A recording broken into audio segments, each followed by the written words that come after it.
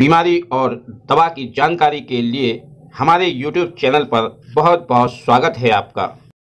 Thyroid report. Thyroid आजकल आम बीमारी हो गई है। हर दस में से चार लोगों को इस बीमारी से पीड़ित होना पड़ता है। थायराइड हार्मोन शरीर में मेटाबॉलिज्म को रेगुलेट करता है। इस प्रक्रिया में आप जो खाना खाते हैं, वो ऊर्जा में बदल जाता है। शरीर इस ऊर्जा का इस्तेमाल पूरे सिस्टम को चलाने के लिए करता है। थायराइड भले ही आम बीमारी हो लेकिन अभी भी बहुत सारे लोग लोगों को इसकी जानकारी नहीं है। कई लोग जब थायराइड का टेस्ट कराते हैं तो इसकी रिपोर्ट में आने वाले मेडिकल टर्म्स के बारे में जानकारी नहीं होती है।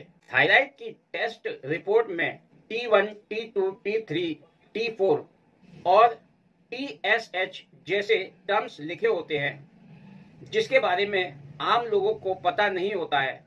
अगर आप टेस्ट करा कराया है तो हम आपको थायराइड की रिपोर्ट में आने वाले इन नंबरों के बारे में बता रहे हैं जिससे आप अपनी रिपोर्ट के बारे में थोड़ा बहुत समझ सकते हैं। थायराइड में T0, T1, T2, T3, T4 और THS क्या होता है? थायराइड की रिपोर्ट में लिखे गए ये नंबर्स थायराइड के लेवल का पता लगाने के लिए होते हैं। टेस्ट में आने वाले नंबर्स से ही ये पता चलता है कि आपकी थायराइड ग्रंथि कितने अच्छे से काम कर रही है। टी ज़ीरो टी वन और टी टू अगर आपकी रिपोर्ट में ये नंबर्स आते हैं तो ये हार्मोन्स प्रक्रिया और थायराइड हार्मोन्स के बाई प्रोडक्ट है। ये थायराइड हार्मोन्स रिसेप्टर पर काम नहीं करते हैं और ये पूरी तरह से इनएक्टिवेट रहते हैं। अब आइए टी थ्री के बारे में जानते हैं। टी थ्री टेस्ट थायराइड में T three test triiodothyronine level का टेस्ट होता है। आमतौर पर जब T4 और THS के बाद हाइपोथायराइडिज्म की आशंका होती है तो इस टेस्ट को कराने के लिए डॉक्टर्स कहते हैं। आप में से किसी में ओवर एक्टिव थायराइड ग्लैंड्स के लक्षण होते हैं तो भी डॉक्टर टी थ्री करवाते हैं। टी थ्री की नॉर्मल रेंज 100 से लेकर 200 NG DL होती है। अगर आप इसके ज़्यादा, अगर आप इससे ज़्यादा उसमें पाया जाता है तो ये ग्रेसव नामक बीमारी के संकेत देता है। ग्रेसव नामक बीमारी क्या है, इसके बारे में हम आपको वीडियो के लास्ट में बताएँगे। अभी हम जानते हैं टी फोर के बारे में। टी फोर स्वस्थ व्यक्ति के शरीर में थायराइड टी थ्री और टी फोर हार्मोन्स सही रहता है। अगर ये घटता बढ़ता रहता है तो या घट बढ़ जाए तो परेशानी की बात है। इन दोनों लेवल को शरीर में T S H hormones control करता है। जिसे थायराइड स्टिमुलेटिंग हार्मोन्स कहते हैं। ज़्यादातर टी फोर और T H T S H को साथ में कराया जाता है। टी फोर को थायरोक्सिन टेस्ट कहते हैं। टी फोर का high level over active thyroid gland की ओर इशारा करता है। थायराइड की बीमारी में T4 की नॉर्मल रेंज महिलाओं में 0.4 से लेकर 4.0 ml के बीच और पुरुषों में 0.5 से लेकर 4.11 ml के बीच होनी चाहिए। स्वस्थ व्यक्ति के शरीर में थायराइड T3 और T4 हार्मोन्स सही रहता है। अगर ये घट बढ़ जाए तो परेशानी की बात होने लगती है। THS टेस्ट, इस टेस्ट के ज़रिए ब्लड में थायराइड सिस्टोमिलेटिंग हार्मोन्स की जाँच करते हैं। इससे थायराइड ग्लैंड्स के बारे में पता लगाया जाता है।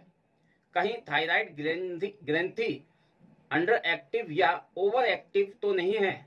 शरीर के लिए ये दोनों ही स्थिति खतरनाक होती हैं।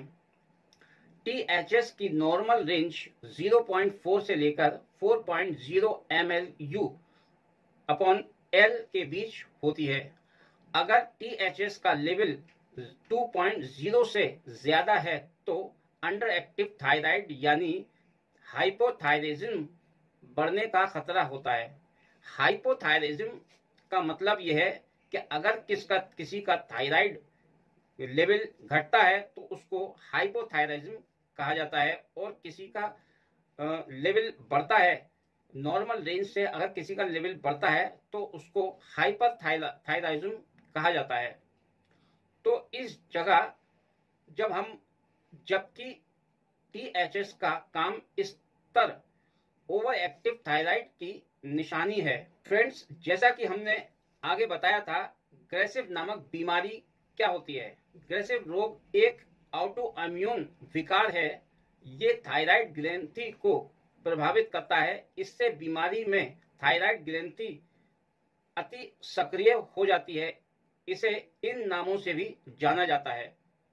तो फ्रेंड्स ये थे इस वीडियो पर कुछ टिप्स उम्मीद करता हूँ कि आपको थायराइड की जो हमने रिपोर्ट जाँच जो आती है, उसके बारे में जानकारी दी है। अगर इस जाँच में नॉर्मल रेंज से बढ़ता है तो उसको हाइपर थायराइडिज्म कहा जाता है। और अगर ये नॉर्मल रेंज से नीचे रहता है तो हाइपोथायराइडिज्म कहा जाता है। तो इन दोनों में ही अगर ये घटता या बढ़ता है, दोनों में ही इसको अगर आती है रिपोर्ट में, ये चीज़ तो दोनों में ही प्रॉब्लम देखी जाती है। इसका मतलब ये कि वो बंदा, वो पेशेंट थायराइड का शिकार है। तो इसको डॉक्टर के द्वारा कुछ दवाइयाँ दी जाती हैं जो कि इसको कंट्रोल किया जाता है। तो फ्रेंड्स मैं एक वीडियो बनाई है, उसका लिंक मैं अपने डिस्क्रिप्शन में दे दूँगा। अगर किसी को थायराइड की शिकायत होती है तो उसमें कौन सी दवा दी जाती है? तो हमने इस वीडियो पर, इस टॉपिक पर भी एक वीडियो बनाई है। जाकर आप देख सकते हैं। तो इस वीडियो को मैं यही समाप्त करता हूँ। अगली वीडियो में अगले टॉपिक के साथ फिर आपसे मुलाकात होगी। तब तक के लिए thanks for watching my video and goodbye